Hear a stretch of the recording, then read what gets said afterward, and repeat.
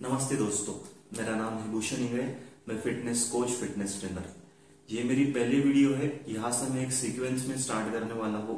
सो so, basic मैं इस industry में छह से सात साल से हूँ।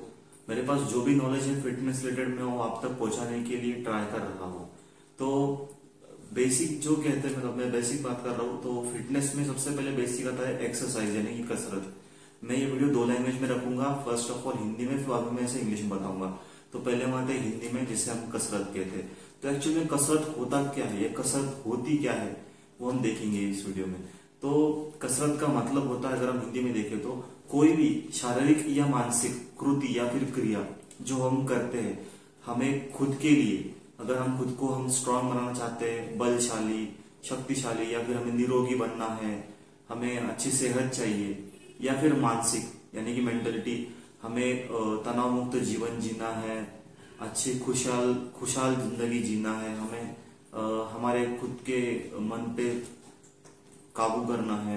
तो ये सब चीज़ें करने के लिए हम जो भी कृति करते हैं ये सब हमारे गोल्स अचीव करने के लिए हम जो भी कृति करते हैं तो उस कृति को प्रोसेस होती है मतलब वो जो क्रिया होती है वो क्रिया को व्यायाम कहते हैं।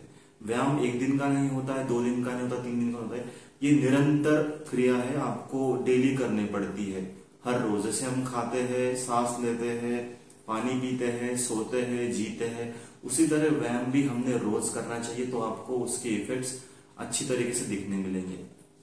तो ये होता है हिंदी में हम व्यायाम का मतलब होता है कोई भी शारीरिक या मानसिक कृत्य हम करते हैं जिसको हमें हमें कुछ अचीव करना है, हमें कुछ पाना है तो उस चीज़ के लिए हम जो कर रहे हैं, वो चाहे फ़िज़िकल हो या मेंटली हो, उसे एक्सरसाइज कहते हैं, व्यायाम कहते हैं। तो इंग्लिश में बोलना फिर वही सब।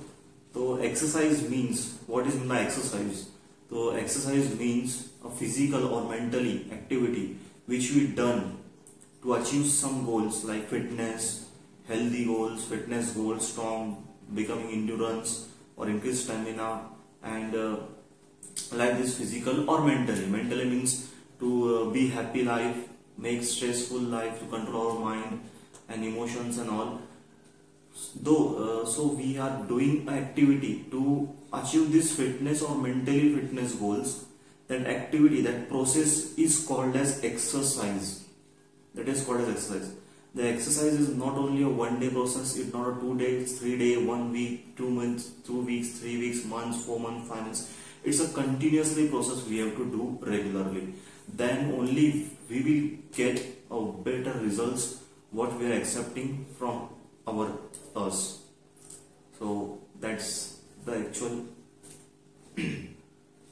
meaning of uh, exercise.